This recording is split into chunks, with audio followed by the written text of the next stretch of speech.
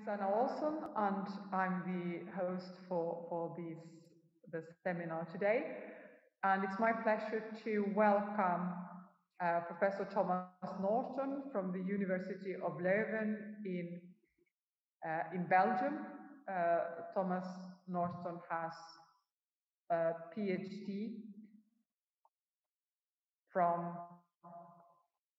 um, University College Dublin in Biosystems Engineering, and he leads uh, a group of research at the University of Leuven that works on precision livestock technology, uh, which is uh, a term that can stand for many things. And I know that that um, Tomas Norton's group's research really represents a lot of variety of um, approaches to use technology to collect data on and to monitor animals' health and behavior and, and welfare. Uh, and uh, Professor Tomas Norton is definitely one of the absolutely leading European experts on this, and it's a privilege to have uh, you here, Tomas, for, for this talk. And the, the floor, the, the web is yours. Thank you very much for joining us. Thank you very much, Anna, and I really appreciate the invitation. And uh, yeah, it's a pleasure to be here and to just share some of the things that we we've been doing with you, and maybe stimulate some ideas on what can be done in the future, and perhaps collaborations also. Who knows? Um, I just share my screen now. Works. Coming up.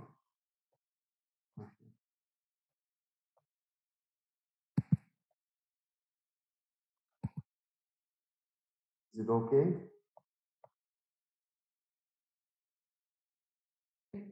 Yes, it is. Yes, okay. Yes. Okay. Perfect. So I'll get started. So um, yeah, like I said, thank you very much. And uh, indeed, what Anna said is perfectly correct. Uh, PLF is kind of uh, a term that captures a lot of different uh, ideas and concepts. And um, what I'll speak about today is the use of precision livestock farming tools actually to support welfare monitoring, um, because really in the past few years, that's been quite important focus of uh, particularly the research in precision livestock farming tools. Um, and uh, I'll, I'll, cover a, a lot uh, of the recent research that we have been doing in that direction. Um, in terms of uh, the reason why we even do it at the beginning is because uh, we know that uh, it's, of course, a challenge for farmers to manage uh, farm animals in large numbers. Um, because, of course, there is a, a, heavy labor cost associated with that. Um, and the general trend ac across Europe and globally actually is that the farms are becoming more efficient. And because they're becoming more efficient, um, they need, uh, yeah, uh, they can farm more animals and they have less people managing these, these animals. And um, because of that, coupled with the fact that uh, there's a large amount of volatility, volatility in the livestock sector, particularly when we look to the feed price and uh, yeah, when we see and take into account that this is about 50 or 50, even more 60% of the, uh, the costs of uh, growing animals, we can see that, yeah, there is a need for additional support for the farmer in order to keep, uh, not alone making money, but even in business sometimes, it's a real struggle for them. And the, the challenge that they face uh, and the corresponding effect of the, the lowering number of farms and the increasing number of animals being farmed per, uh, per farm itself is a challenge witnessed throughout the world. And we see from Europe now that, yeah, with the Green Deal, they're trying to bring farming back to smallholders and medium-sized farms. Maybe they will be successful in, in doing that. but there will always be this resource efficiency challenge that that's facing. So we, we will see in the future where that goes. But the real challenge, and I think this is where farmers need support now, is that they can no longer give the individual attention to, attention to the animals that they used to do in the past. Um, in the past, they could, uh, yeah, they knew by the behavior, they had the opportunity, for instance, go into the milking parlor and uh, milk the, uh, yeah, recognize if there was problems with, with the milking cows or even in the building itself, see if there's one cow that's not eating properly and so on. The farmers did a lot, but now because they have so many animals, they don't have that kind of capacity anymore. That's why you we see on the, the, the market, we see commercially that there's more and more tools coming out to support the farmer. Um, and really, a, a, lot of these tools are supporting him to make correct choices to, that will improve his efficiency. For instance, on the left hand side here, you see this green bolus, uh, which takes measures of rumen pH uh, in order for the farmer to optimize his uh, feeding rations. Um, there's other devices coming which are also supporting efficiency, but maybe through the monitoring of health. Uh, for instance, the microphone here, and I will go into that a little bit later as well, gives a signal that is uh, related to the respiratory health uh, of the animals. The first application for this company, SoundTalks, is in pigs, but they are also looking to other species. Um, so there is very interesting technology coming out that will hopefully support uh, the farmer to manage his livestock and to do it in a more health and welfare friendly manner. Um, and what we're trying to do is to support uh, the animal. In fact, the animal for us is the main stakeholder. Uh, it's the one that's taking these inputs. It, uh, the animal has a certain genetics. It, it, it can't help it. Uh, it's bred in a certain way for the production system. But then we change the conditions like the environment, feed and water around the animal. And of course, when the animal is in, subjected to challenging conditions, which they are sometimes with the climate, perhaps uh, the temperature is uh, fluctuating above a comfort, comfortable level for them or the feed composition has changed. Uh, we would like to monitor the response of those animals. I, I put video monitoring here. Actually, it can be many different tools that we, we monitor the response. Uh, a focus of ours has been video monitoring.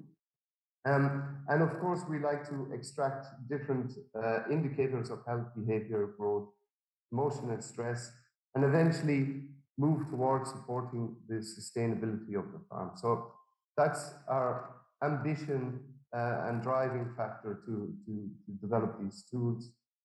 In the research team, we have long, for a long time, back since the 90s, um, this scheme uh, as a core uh, method for us to follow. And basically, it basically says that there is a process at play, and the process is for us uh, the livestock production process for producing pigs, uh, uh, milk or eggs, uh, or chickens. And yeah, in the end, uh, we know that these animals in the system are subjected to inputs and then they will respond in a certain way. And here I have measure underneath both of these because we know we can start measuring things now with sensors. Uh, many different devices are out there to do that. And if we can measure in a good way, we can actually start to produce a model representing that animal. And that's the work that we do in our in our research team. We try to model as close as possible this uh, animal uh, and then try to uh, determine when there is deviations from the normal state. But of course, it needs a lot of support from different disciplines. And uh, well, I'm, our research team is very lucky to have uh, very good colleagues uh, in many of these fields. And um, if I think the, the most important fields to us uh, at the moment would be in the ethology and physiology side. So we're, we're uh, working on the ethology side, mainly around the, the welfare questions to uh, develop technology to improve their animal welfare. And of course, this modeling part is really the technical part, but that's when we join up with the, the other disciplines and together. And this is a real collaborative effort, I have to say. There's no one winner here sitting behind his desk trying to realize everything. You can only work in a team, and together we can deliver a solution. And that's uh, what we are trying to, to work towards delivering, delivering uh, help to the farmer and also uh, technology that can support as well the research to improve the systems that animals are in.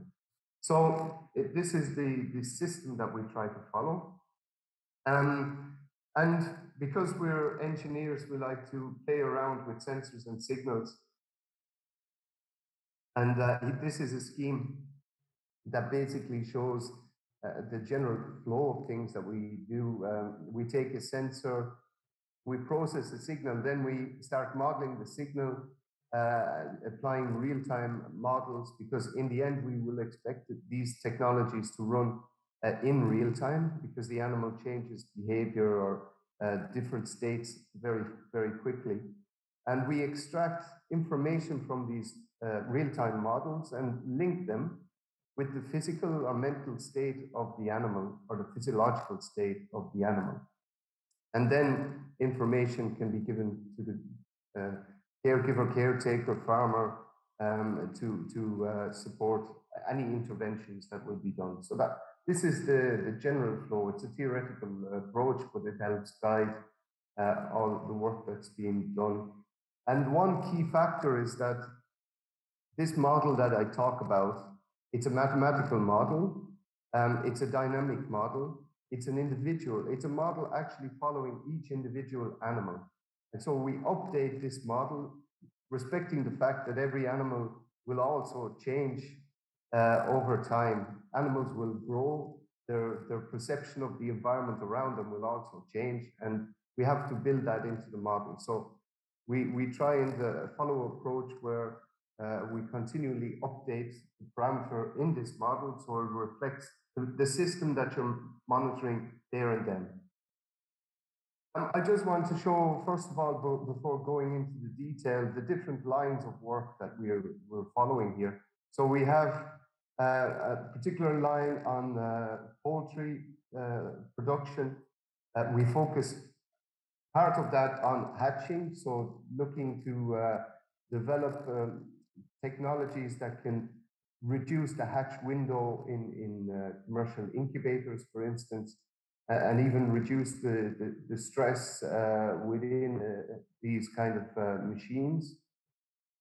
Um, we would all, we're also looking to the production side, the growing of, of broiler chickens, monitoring the behavior of those broiler chickens and uh, uh, capturing information on their welfare. And also when it comes to layers, uh, looking at IPM strategy, uh, IPM stands for Integrated Pest Management.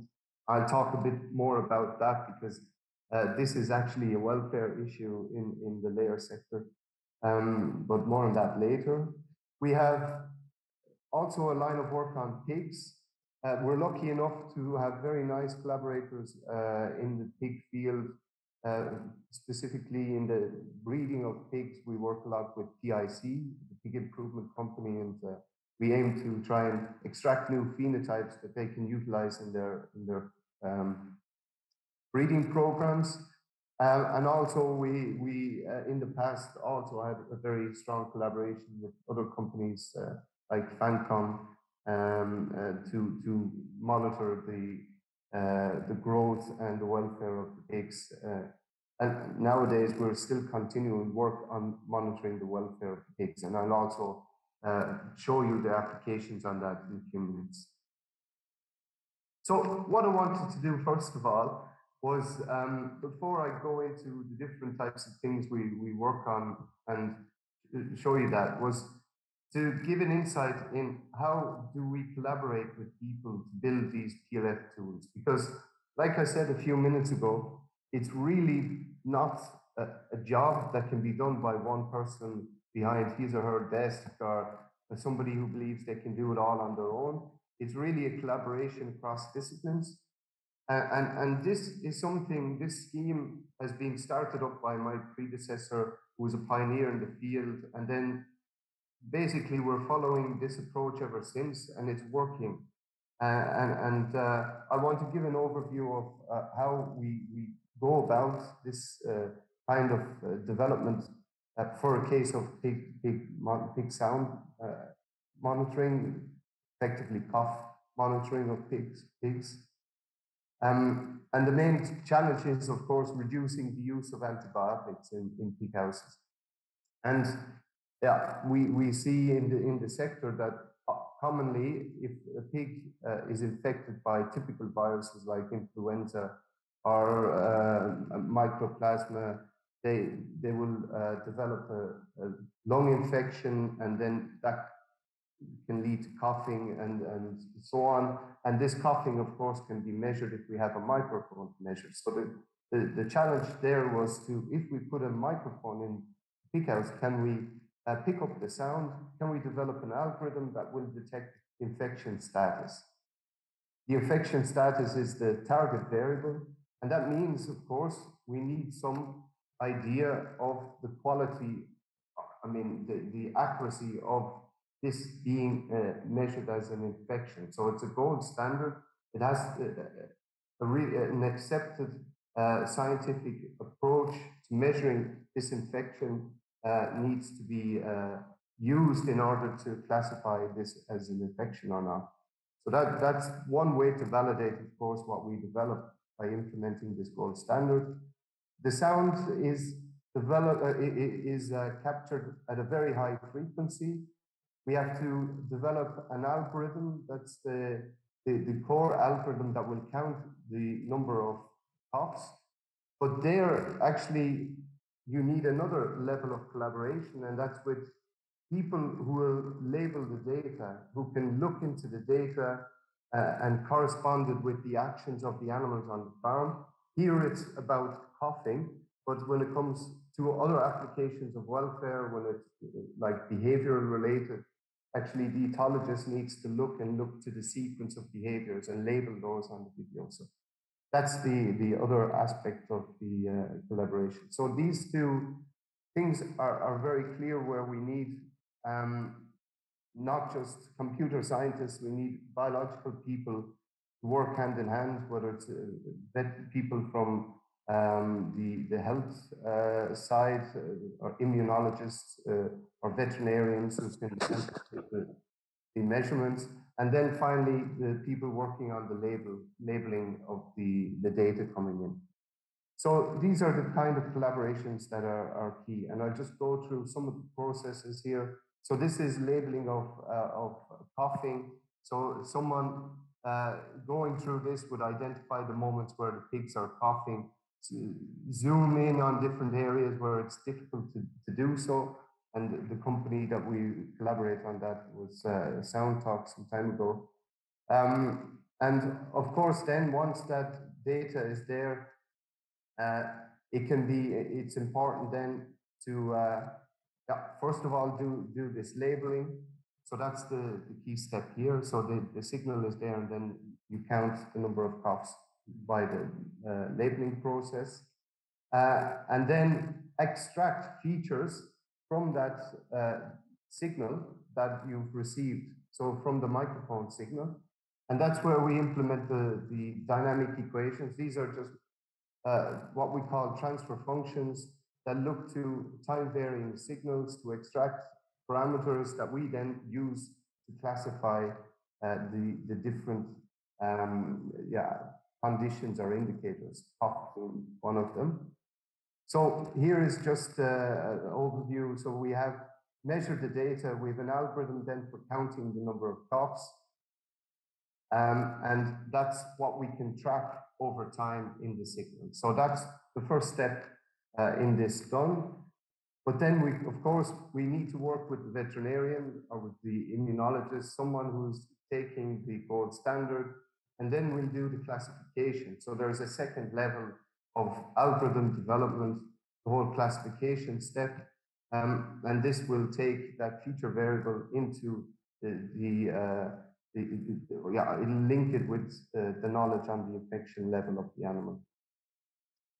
And then, of course, we have to do a, a whole validation step um, and again compare the, the uh, feature extraction and the classifier with uh, the real values measured uh, for a completely new um, data set.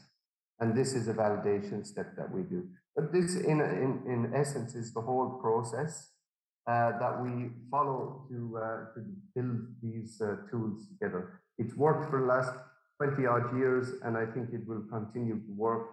Um, and what it really means is that we need to speak the same language to each other and be willing uh, to get out of uh, the comfort zones and, and discuss things.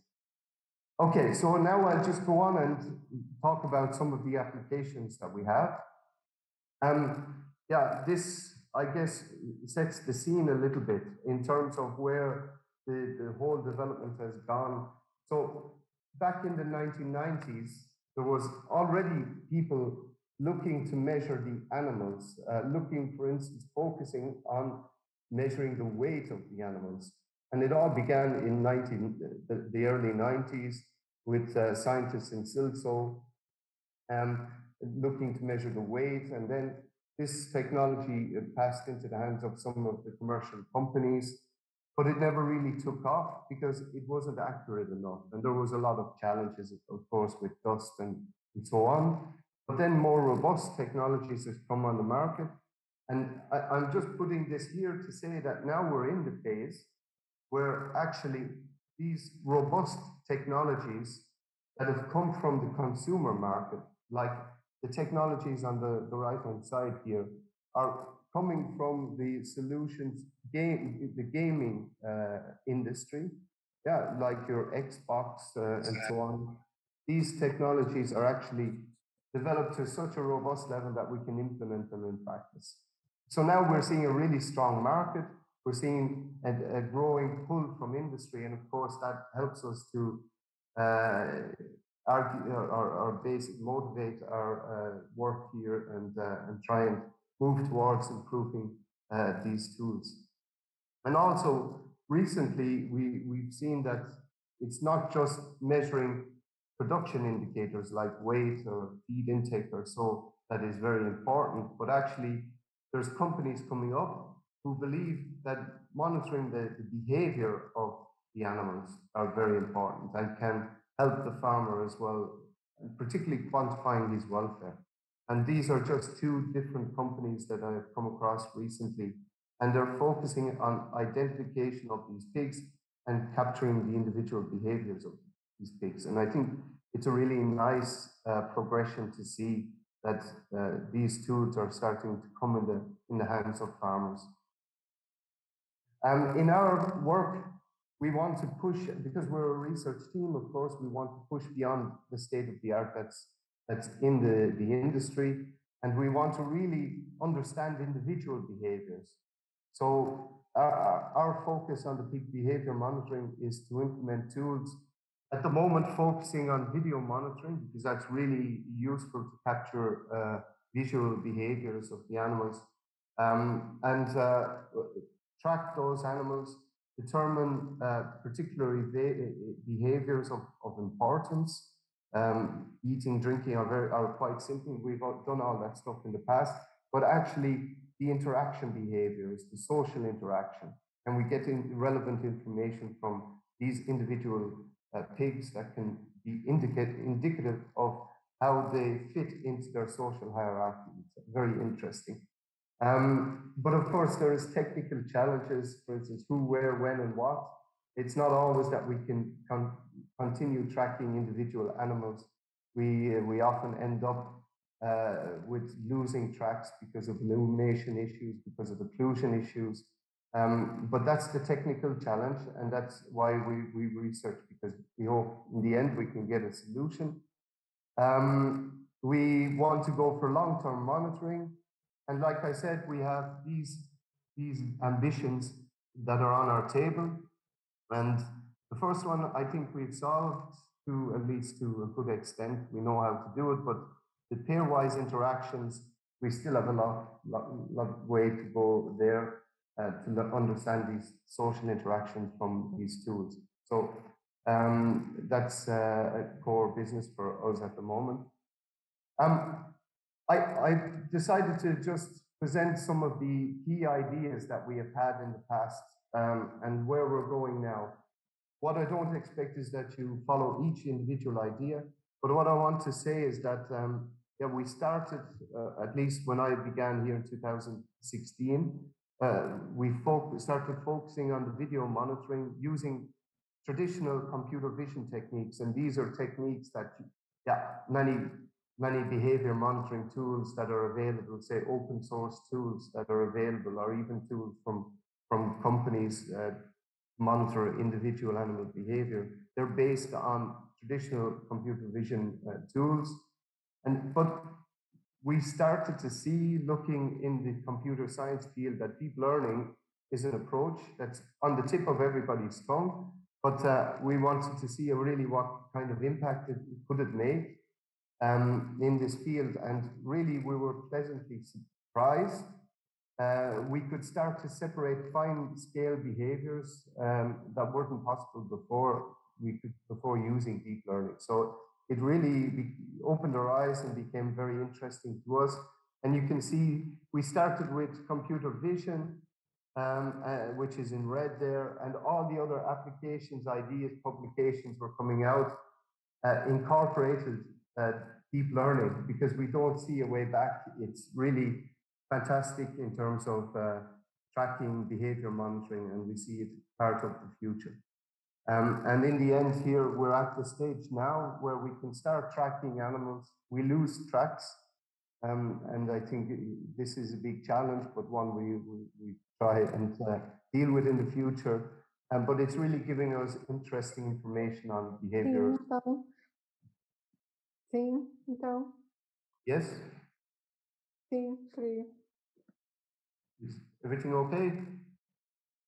Ah, posso ter pode ser. Não vou não. É as coisas de vir para trás, Antônio. I think somebody's on the phone. Sorry. Okay, will I continue? Yeah. Um, so um, we are uh, we're working. Like I said, first of all, we started with the pig aggression thing, and this is just uh, a, a video to show the different uh, streams that we worked on. So this is just segmenting the animals from the background.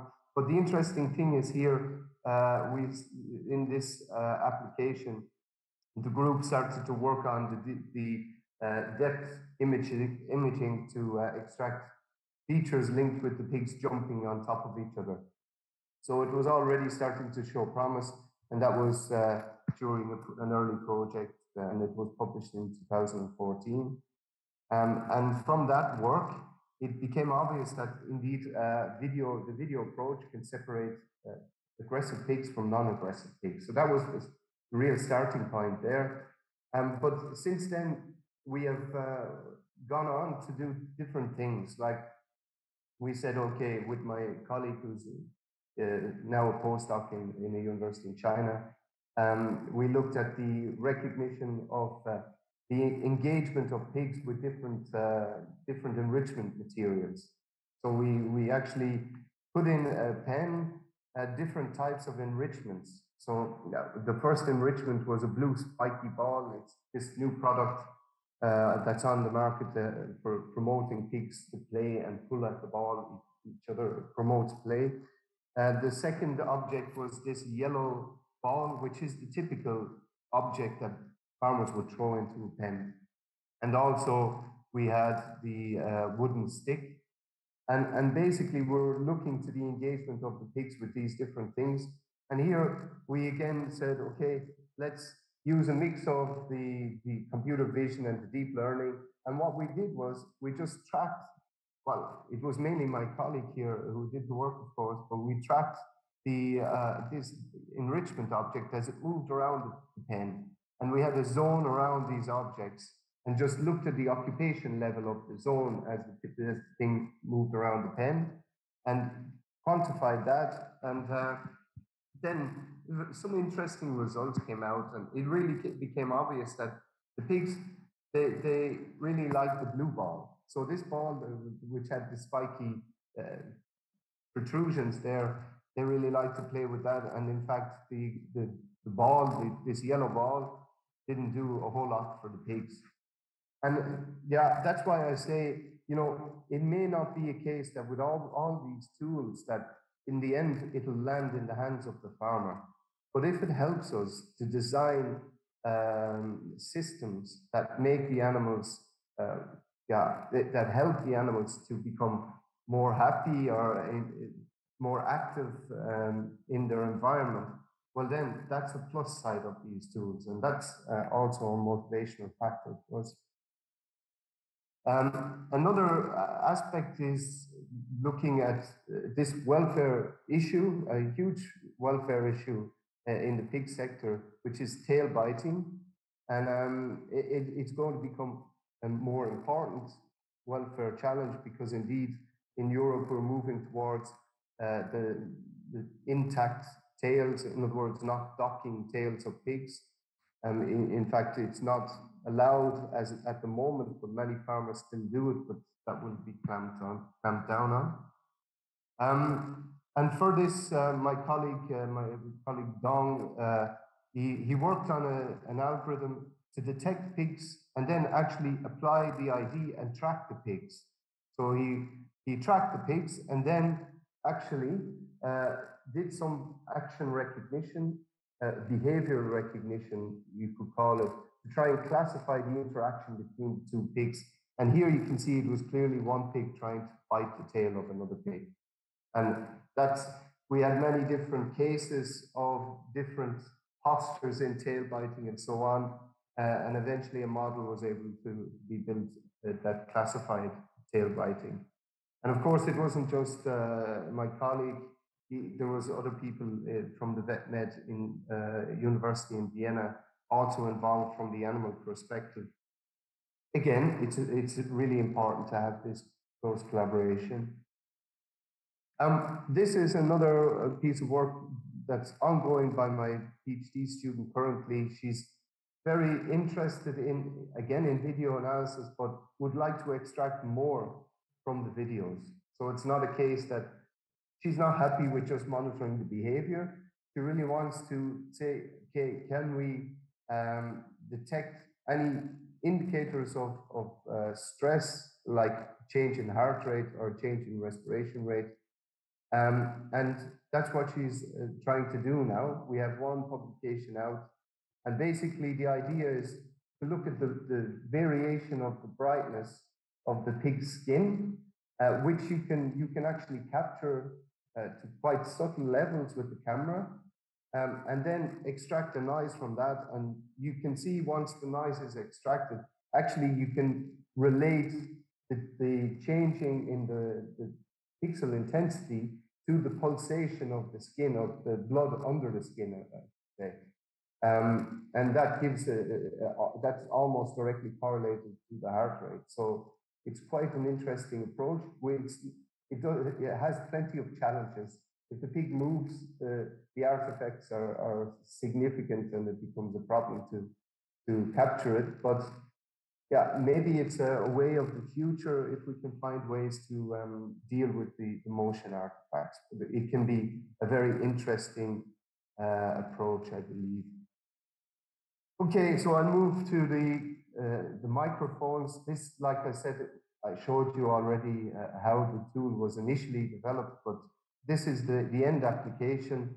It's now on, on the market. Um, and what's interesting is that it's not just about counting coughs, which what it does now, um, but in the research uh, already a number of years ago, it was shown that it can count coughs, but it can also separate healthy coughs from sick coughs. And this is a, a very interesting thing to do because, of course, you can tell if the pigs are not are, are just reacting to their environment or if they're really sick.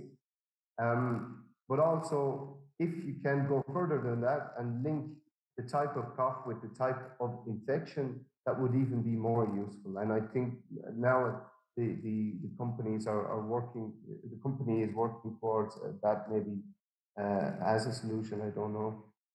Uh, but this is the kind of uh, results that come out of the, the, the monitoring system.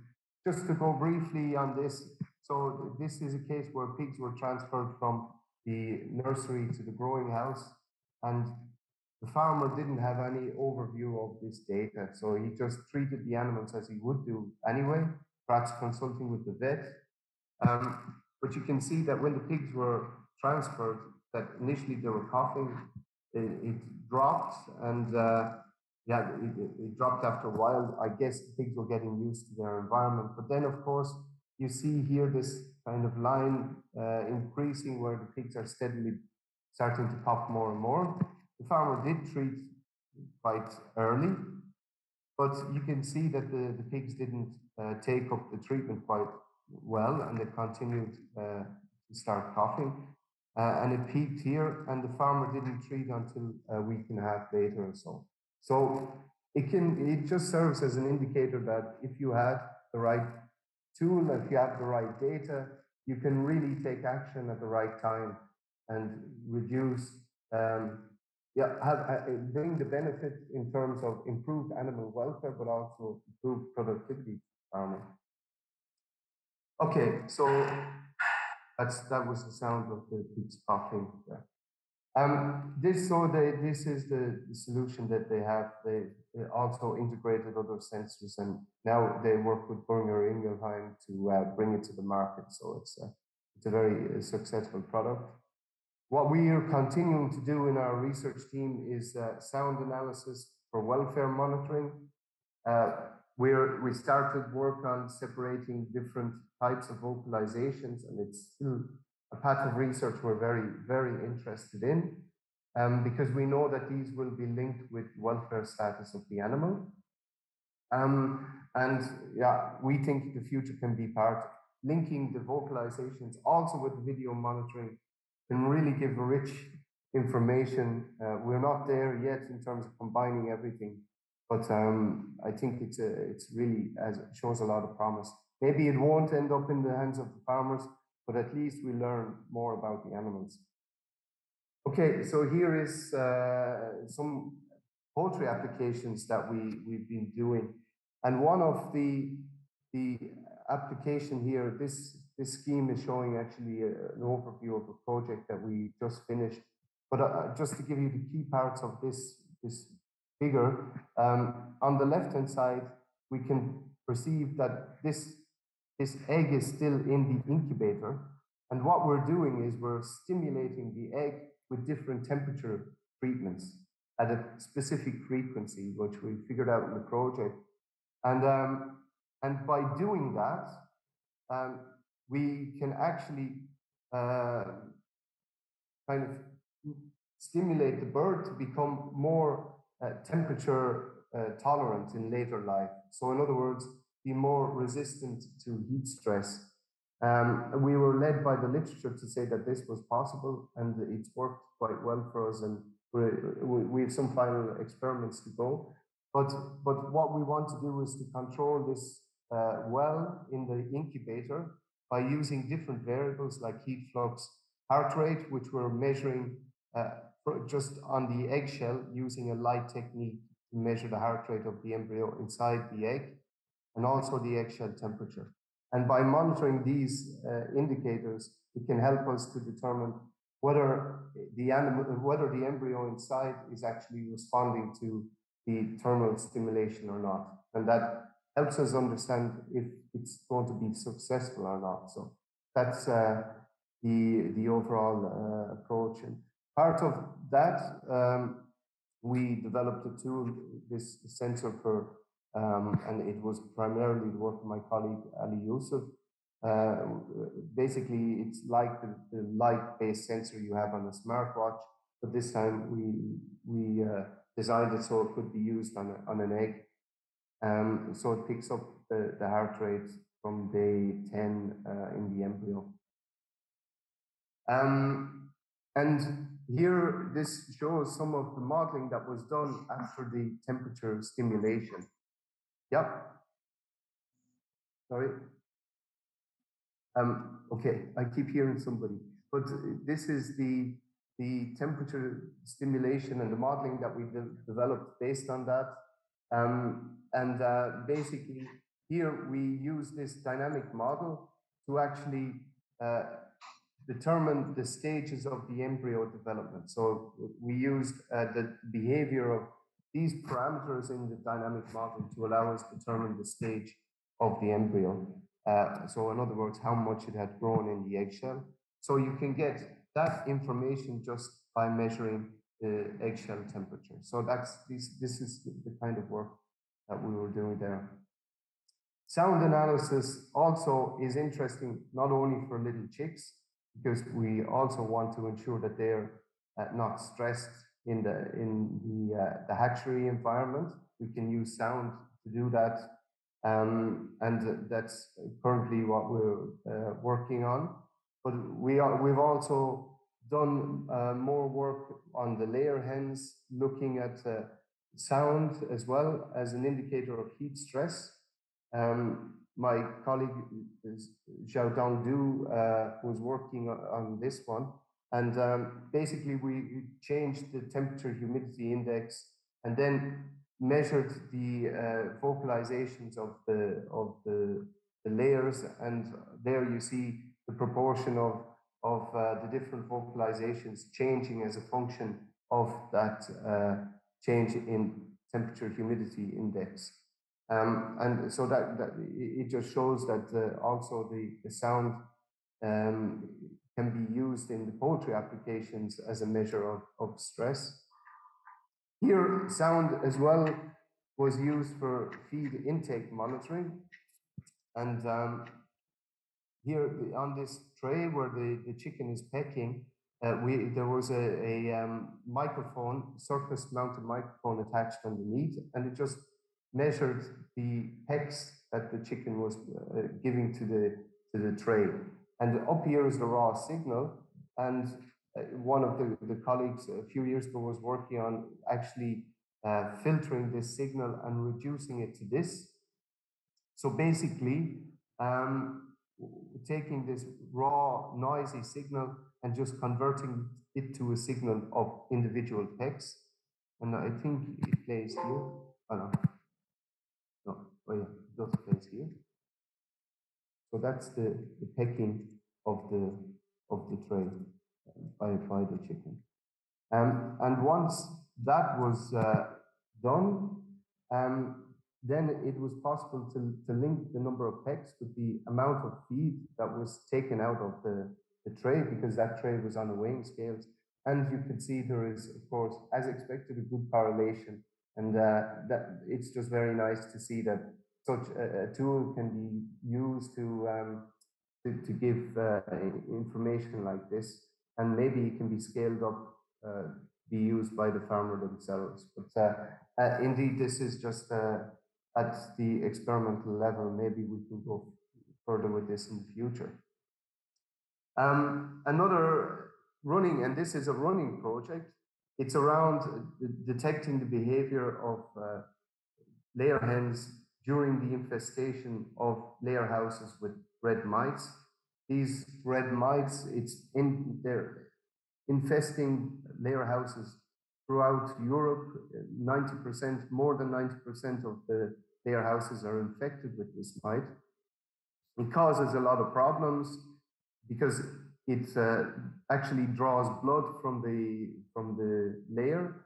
And because yeah over time when it's drawing so much blood the bird lose, loses production productivity. But also yeah its welfare is compromised.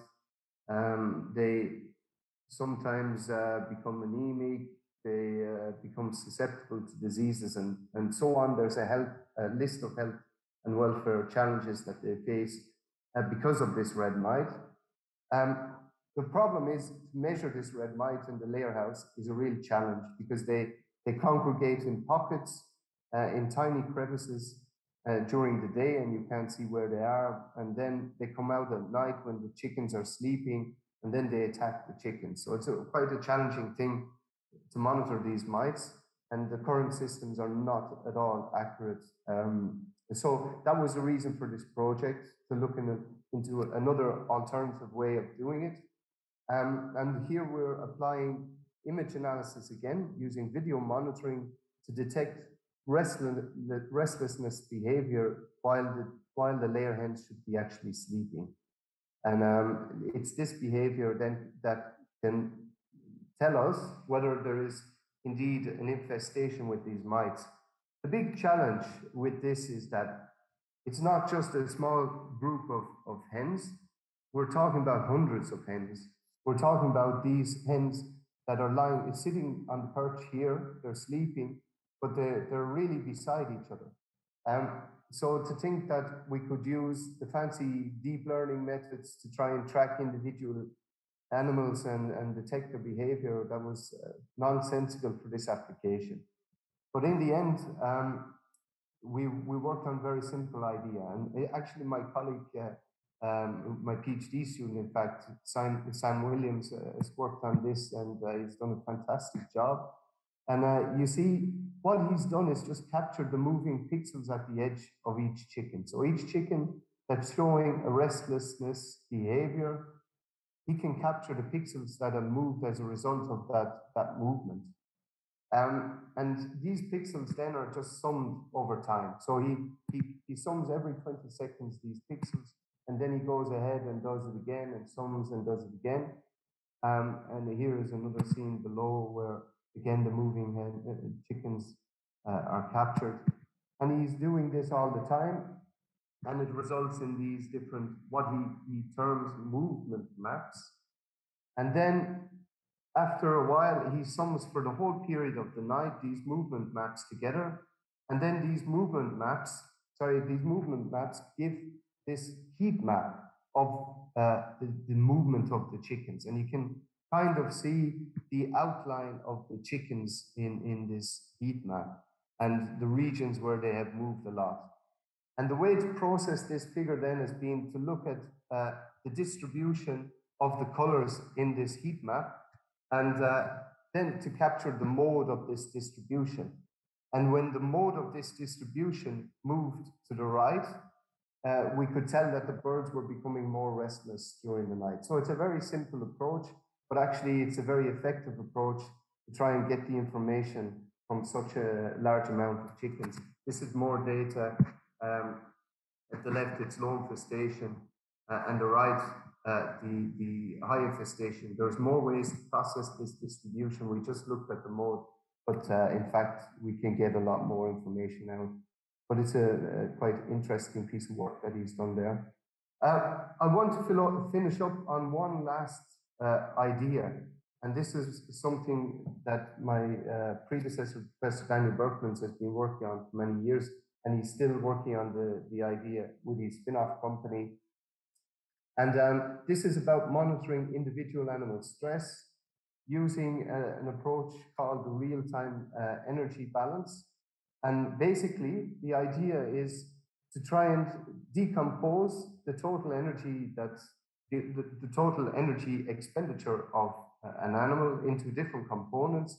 One being the basal metabolism, that's needed for, for self-maintenance. But then, of course, you have components associated with the thermal, uh, thermal regulation, the heat balance, the growth of the animal, movement of the animal. And the interesting one that's here, the, the right-hand side is the uh, mental state of the animal. So there will be some energy uh, given into uh, the stress of a situation. And it would be very interesting to measure this because if we think about livestock production, maybe this is affecting the growth of the animal um, and maybe it's affecting heat balance. Then, of course, uh, it can give rise to other challenges. So, if we can monitor this this component of this energy balance, it would be very interesting. And there was an experiment back uh, in the I think it was 2009. Uh, you just on this horse. Uh, the idea was to to lunge this horse, given this protocol of walking, trotting but during the trotting period, to show the horse a, a balloon, a, a umbrella, and this umbrella would frighten the horse, and just measure the response of the horse. And it's the response, by the response, I mean the, the activity, which is measured on a sensor which is attached to this uh, strap, but also uh, the, the heart rate of the horse, um, and then linking the heart rate and activity together. So this is the, the horse being lunged, and this is somebody coming with the umbrella to frighten the horse. And you can see actually in the data that um, the horse was very disturbed at this moment, and, and there was a lot of very weird activity being measured by the, the sensor. Um, and the heart rate, uh, of course, we can expect the heart rate went up. But what's interesting is that the, the uh, heart rate that was modeled just using the activity. So at the beginning, the activity was, was used to uh, model the, uh, the, the, heart rate. So a model was fit at the beginning. And at the moment when the umbrella was introduced, the heart rate predicted by the model decreased, which was completely wrong. So there was an error there. And this error was what was used to uh, characterize the state of stress of, of the animal. And the idea is that maybe this error and the amplitude of this error can be related to the amount of stress that the animal is feeling at that moment. Um, and that, that, that approach was uh, then followed. And, and, a final result, an interesting result, was that um, the horse that was being launched actually responded much, much earlier um, before the umbrella was, was shown to the horse. And the reason was the farmer next door in this farm here started up a tractor. And, and actually, the horse became stressed at this period. And uh, it turns out they were scratching their head for weeks uh, because uh, they didn't know what was happening until they turned the sound on video. And then they saw that uh, the farmer started his tractor. But it's uh, quite interesting results. And then in, in recent years, back just in 2009, we decided to do a similar experiment with uh, with pigs to see how would the pigs respond to different stimuli. So here you see the pig playing with uh, a cloth, uh, rooting material. They like to, to, play with that. And um, so that was one of the, the, stimuli. Another stimuli was a frightening event that we, uh, so a scaring event. And that was the uh, air horn being sounded in, in the room. And again, we measured the, the heart rate response, the activity, and we were modeling the, the heart rate using the activity uh, first of all. Um, and then we used anything, well, anything that was uh, remaining uh, was uh, con considered to be a mental heart rate. So that mental heart rate was extracted from the, the modeling phase and just here plotted individually. And you could see that uh, the um, during the scaring of the animal, of the, the pig, uh, the, the, heart rate increased a lot, but then kind of dropped quite quickly. You see it very, very nicely in pig two, that when uh, it, it, was scared, yeah, it got frightened initially, but then this uh, mental heart, heart rate decreased quite quickly. And uh, over successive scares, it was less and less, of course. But what's interesting is if you look at the, the towel, which is this other stimu stimulant that we used, um, basically the, the arousal was more progressive and slower. Uh, and we can see this kind of linear trajectory, which is much different to the, uh, the, the scare stimulus.